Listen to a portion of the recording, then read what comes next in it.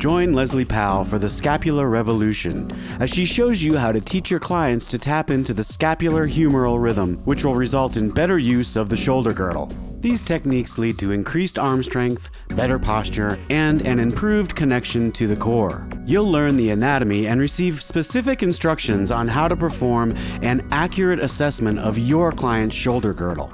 You'll also discover how to use Pilates equipment to build foundations in your client's shoulder mechanics and how neurological patterns can prevent good function. You'll also gain an understanding of the coordination of shoulder and arm muscles in closed chain exercises, as well as how you can use phrasing of the scapula to influence muscles in the arm. We hope that you enjoy this fantastic workshop with Lesley Powell and never stop learning.